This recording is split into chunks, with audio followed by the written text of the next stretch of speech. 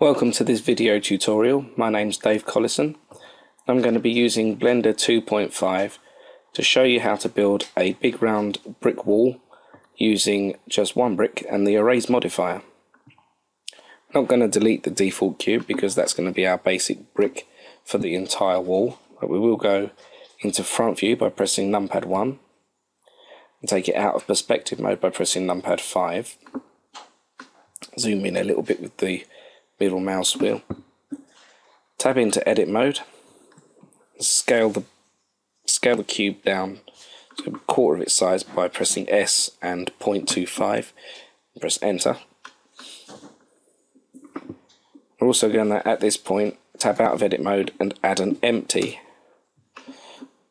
not with the spacebar but with shift A for add go down to empty this is going to be used to control one of the array modifiers to form the brick wall.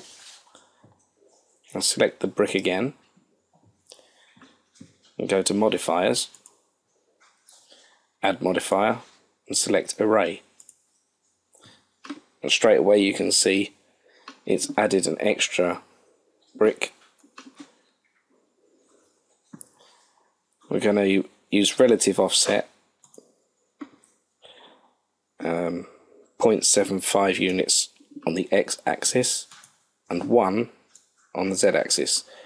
This moves each copy in the array across by 0.75 the width of the object and up by exactly 1 times the height of the object. Quickly do a copy of that and collapse it, give us some room. This second copy isn't going to be moved across at all. This is going to give us a nice pattern for our wall. So we've removed the X offset and have just a Z, a Z offset, which is offset on the first array modifier. Do another copy, collapse this one. This one's not going to use relative offset, it's going to use an offset object, which is the empty that we added. So we select the empty. You can just type empty in there. And now you'll be able to see if we select the empty, grab it, press X to constrain it to the X-axis, it moves a copy of both of the uh, other array modifiers and it's starting to form a brick wall. It's not a circle yet, but it is a brick wall. Select the brick wall again. And change the count for the last array modifier from 2 to 36, which will give us plenty of bricks to play with to make a circular brick wall. Select the empty again. You can just click on it in the outliner usually you can.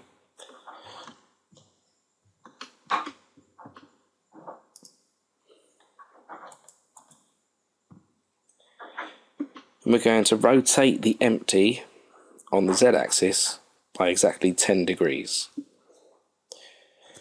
Seeing as there's 32 steps, rotating it by 10 degrees should form a full circle. And there it is. back to front view of numpad 1 select the wall again. Collapse that modifier. Just for a bit of extra highlighting we're going to uh, add a bevel modifier which you can adjust the width on by dragging that down. So we get some nice edges on the cubes it should add some nice highlights when it's rendered back to front view. Right, to get the effect we're looking for, we need to get this lamp, bring it down into the middle of the circle.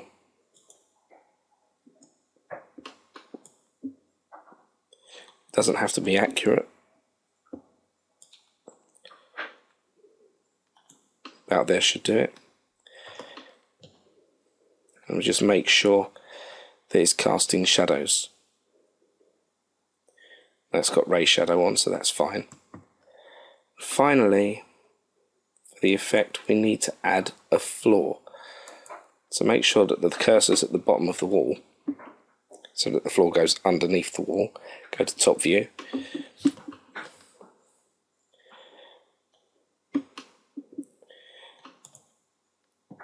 Place the cursor somewhere in the middle. If you turn off the uh, what's that called? The manipulator. Turn off the manipulator with control space. Then you can just click where the lamp is. Shift A to add mesh plane. We're going to scale the plane up. Press S and enter 20. Tab into edit mode and subdivide it. Press W, subdivide. And we can just go over to the tools panel and crank the number of cuts up to 10 come out of edit mode, back to front view, zoom in a bit, and press Control, Alt and numpad 0. It'll align the camera to the view. And select the camera, grab and press the middle mouse button and you can move it backwards to fit the entire wall in. Then grab it again, move it up a bit and press rotate and X twice and you can tilt it down.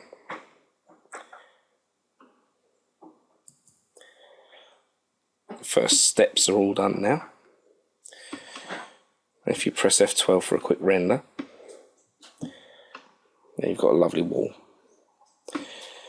But seeing as we're using Blender 2.5, let's go a little bit further with this. Select the wall again. I'm going to give it a nice glowing green material. Click on materials and change the diffuse color to green. Change emit to about 0.15. Doesn't have to be very high.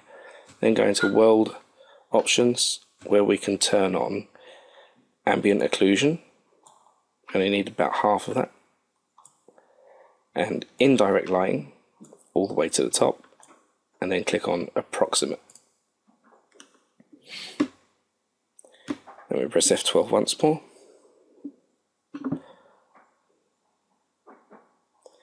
You've got a lovely big green glowing wall of bricks, all made from one brick. And because you use the arrays modifier, anything you do to that brick will adjust the entire wall. So if you select it, tab into edit mode and scale it on the Z axis,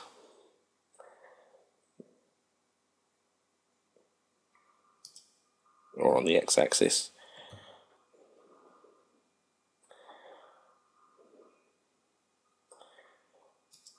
You can do whatever you want with it. Hope that's been helpful.